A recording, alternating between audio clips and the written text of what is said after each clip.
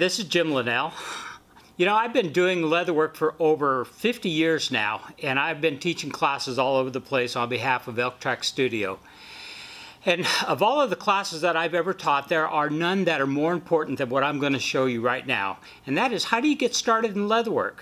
There are some basic techniques, some things that you need to learn, and if you learn those correctly, they will make a huge difference on how much enjoyment you get out of your leatherwork. So stay with me as I walk you through doing a pattern just like this, which will teach you how to use all of the most basic leatherworking tools.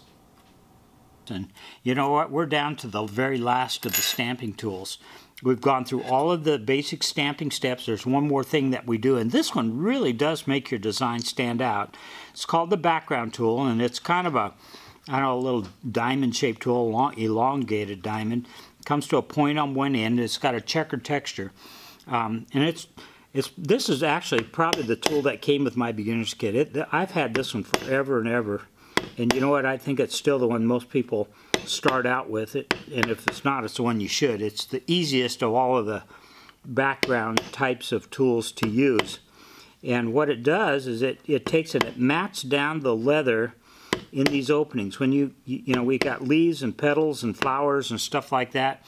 But then in between we got these gaps where you can kind of see all the way through the design and everything. And if we use this tool, um, in those areas there, we put a, a, checkered and matted texture in there, and that uh, tends to give us even more three dimension in our design, and that's uh, what this tool is all about.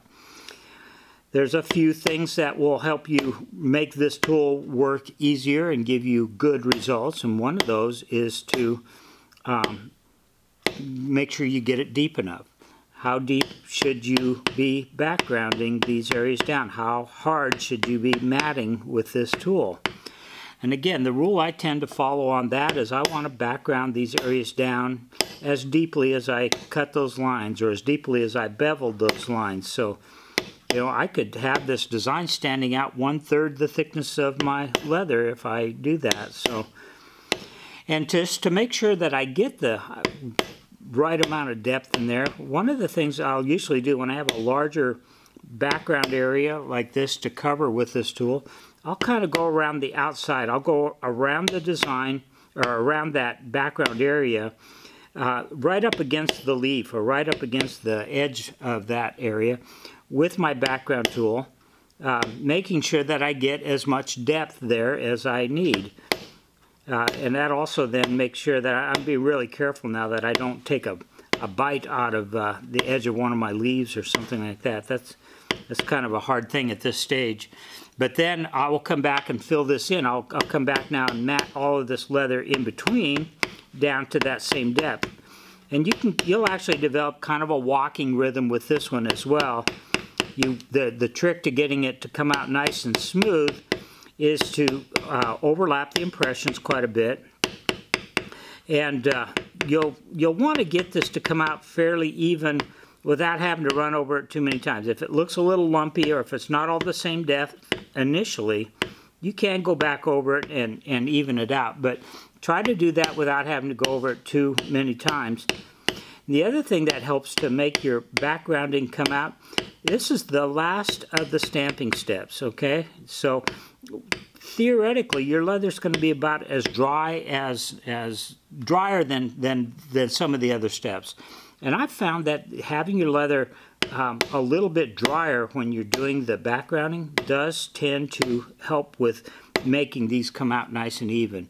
Sometimes if this is too wet, these you lose the distinction, you lose that crisp matted texture when you're doing that. So you want to make sure that you um, don't have it too wet when you're doing this, and you, you'll end up with a, a lot more even and consistent backgrounding texture. So make sure you know you know what you're backgrounding down. You don't want to like be backgrounding a leaf or something like that down. So again, study your pattern or make sure you know what you're what you're doing. But you can see it's it's burnishing too. I'm getting some really nice color where that that's being done. I'm getting some really good contrast, and that's again, as I was saying earlier, this is one of the great things about using, uh, you know, learning how to get the, the right, use the right moisture content to get that natural burnish to come out of your leather. If you're able to do that, you really don't need dyes and antiques and finishes and like that to give additional 3D to your design. It, it will develop just a beautiful patina all of its own.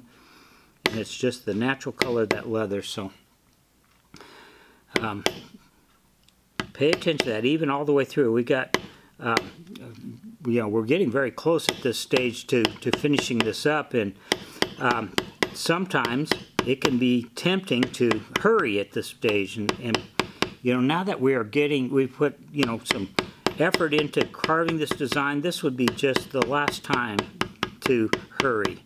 Um, you don't want to, at this point, uh, like I said, have a stray impression that takes a bite out of one of these leaves or whatever.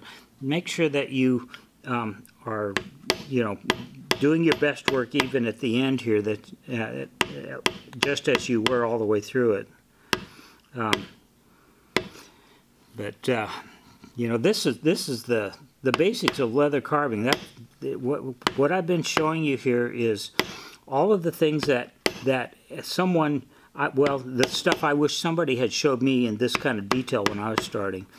Um, I, I, mentioned that I, I got to do a lot of trial and error when I was getting started. And while trial and error does teach you some lessons, they can be expensive lessons.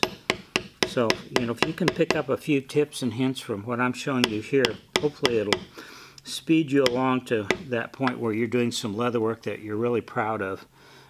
And remember when I was talking about that little place that uh, the beveler just didn't seem to want to fit in there? That, this is the tool. The, the shape of this tool is made for defining like those small points like that. So that's the last spot here. I've got the background and so I'm going to very carefully make sure I bring out that little point, that little bit of a bud that's in between uh, these two stems here. And that, that tool does exactly what I wanted done.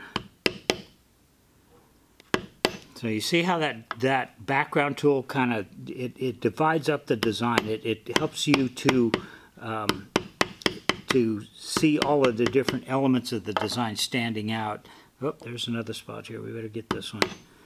Um, and that, uh, but it, it really um, adds another level of three dimension to your, your um, carving when you do this background step. Um, and that really is all of the places that normally we would background. One of the things I'll do, and I'll just show you this a little extra tip here. Sometimes when I have um, a design that doesn't have a border or something like that around it, and I want to get a little more three dimension, I'll go ahead and back into some of these little background into some of these little places like this.